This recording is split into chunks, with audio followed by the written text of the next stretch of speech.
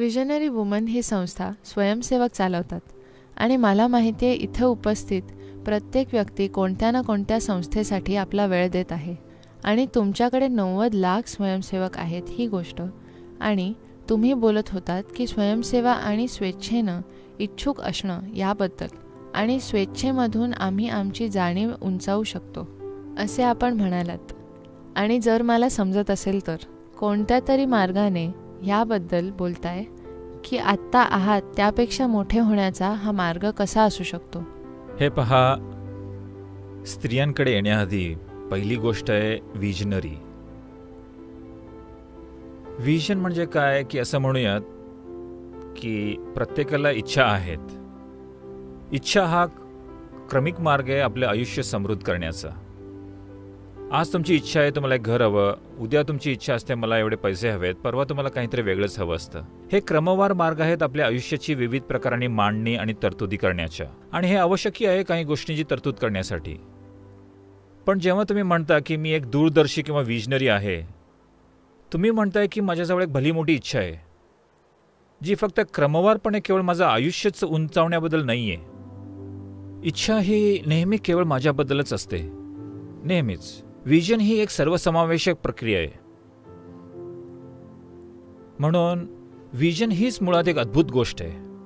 लोकांमध्ये इच्छेऐवजी जर त्यांच्याकडे विजन असेल विजन ही नेहमीच सर्वसमावेशक असते. इच्छा ही एक वैयक्तिक बाब आहे. इच्छेतून क्रमवार बदल आणि विकास होतो. विजन संपूर्ण परिस्थितीच बदलून टाकते.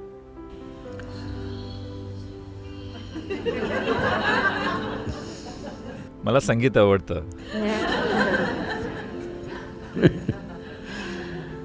तर जेव्हा आपण स्वेच्छेबद्दल बोलतो कारण तुम्ही म्हणालात की तुम्ही एक स्वयंसेवक आहात. एक स्वयंसेवक असणं म्हणजे एक अशी व्यक्ती जी काहीतरी स्वेच्छेने करते हो ना? त्यामागे कोणती सक्ती नाही आहे आर्थिक सक्ती नाही सामाजिक सक्ती नाही असं काहीही नाही. तुम्हाला स्वेच्छेनं काहीतरी करायचं आहे म्हणून जेव्हा तुम्ही स्वतःच्या इच्छेनं सहभागी होता तेव्हा तुम्ही एक स्वयंसेवक असता. म्हणून मी तुम्हाला विचारतोय आता तुम्हाला इथं सहभागी होण्यासाठी सक्ती केली गेली आहे की तुम्ही स्वतःहून इथं आलात? थँक्यू कारण मी इच्छुक नसलेल्या लोकांबरोबरही बोललोय. मी तुरुंगात बोललोय. मी पुष्कळ ठिकाणी बोललोय. तर तुम्ही इथं आहात स्वेच्छेनं. तुम्ही एखादी गोष्ट स्वेच्छेनं करताय हा तुमच्या खुशीचा मूलभूत आधार आहे नाही का? हॅलो कितीही सोपं साधं मूर्खपणाचं कार्य किंवा कृती तुम्ही करत असाल मी एखादी गोष्ट स्वेच्छेनं करते यात जमीन आसमाचा फरक आहे. नाही का? स्वर्ग आणि नर्क यात फरक इतकाच आहे की तुम्ही काहीतरी स्वेच्छेनं करताय तो तुमचं स्वर्ग आहे. एखादी गोष्ट बळजबरीने करताय तो तुमचं नर्क आहे. आपली आधीच अशी धारणा असते आपल्याला काय आवडतं आणि काय नाही. हा मला आवडतो तो मला आवडत नाही. म्हणजे आता याच्याबरोबर मी खुशीनं काम करणार त्याच्याबरोबर मी बळजबरीनं काम करणार आणि हे कदाचित दोन व्यक्तींच्या संदर्भात असेल जीवनाच्या दोन पैलूंमध्ये दोन समाज दोन देश अशा पुष्कळ गोष्टी. हे मी खुशीनं करणार हे मी बळजबरीनं करणार. याचा अर्थ आहे मी माझ्या मनात हे पक्क आहे हे चांगलं आहे आणि हे वाईट आहे. जेव्हा मी ऐकतो न्यूज चॅनल्सवरही चांगले लोक आणि वाईट लोक हे म्हणजे एकदा का तुमच्याकडे अशा धारणा बळावल्या की मग तुम्ही या ग्रहासाठी विनाशकारी ठरणार? प्रश्न फक्त कधी? एवढंच आहे. ज्या क्षणी तुम्ही ठरवता हा चांगला माणूस आहे हा वाईट माणूस आहे हे अमेरिकेतल्या समाजात खोलवर रुजलेलं आहे. नाही. चांगली माणसं वाईट माणसं असं काही नाही आहे प्रत्येकजण या दोघांमध्ये झुलत आहे. जर तुम्ही एक सुंदर छान वातावरण निर्माण केलं तर प्रत्येकजण खूप छान वागतो. जर तुम्ही अप्रिय वातावरण निर्माण केलं तर पुष्कळ लोक अभद्र वागवू लागतात. हो की नाही? आपल्या सभोवताली आनंदी लोक आहेत आणि दुःखी लोक आहेत पण लोक चांगलं आणि वाईट नसतात.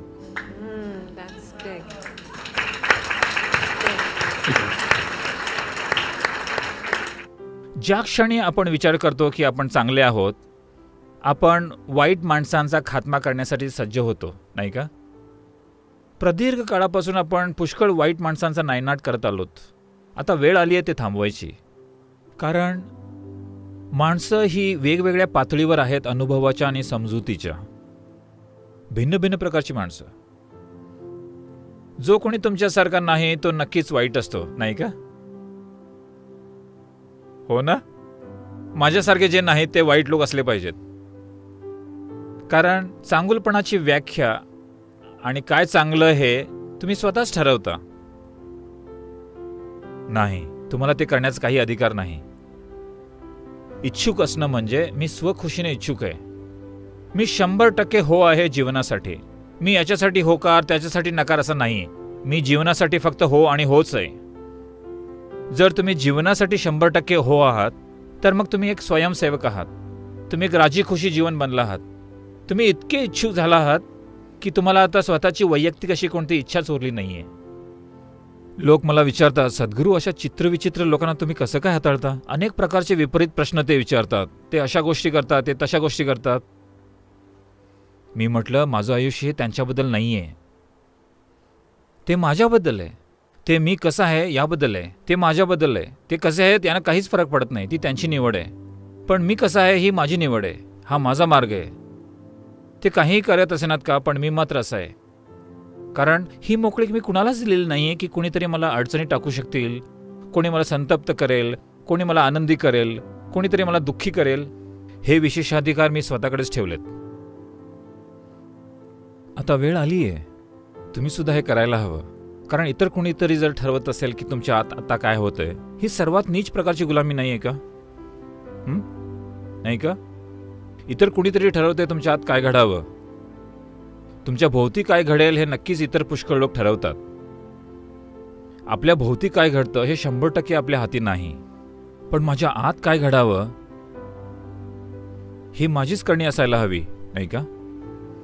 पण आता कोणीतरी कोणालाही त्रस्त करू शकतं कारण ते स्वयंसेवक नाहीत. ते इच्छुक नाही आहेत स्वयंसेवक म्हणजे तुमची स्वतःची अशी वेगळी इच्छा नाही आहे जे जे काही गरजेचं आहे ते ते तुम्ही करू शकता. तुम्हाला माहिती आहे आम्ही एक स्वयंसेवी संस्था आहोत. म्हणजे एकूण एक सर्व प्रकारची माणसं.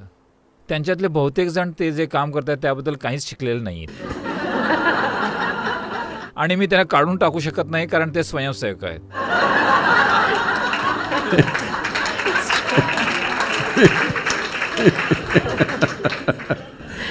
तर लोक माझ्याकडे रोज येऊन म्हणतात सद्गुरू मी हिच्यासोबत काम करू शकत नाही ती खूप भयानक आहे मी हे करू शकत नाही.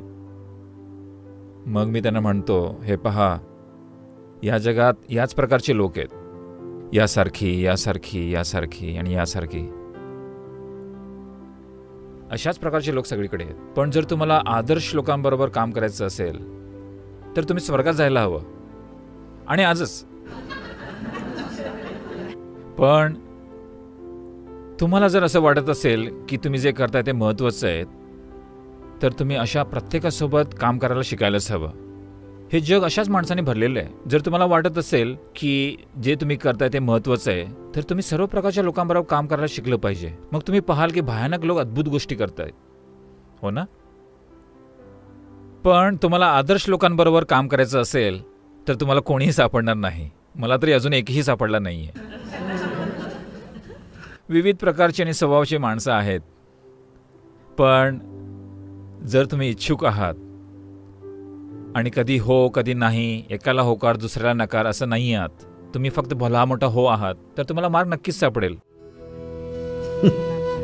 Thank you so much. That I, I, I always say that it's the resistance.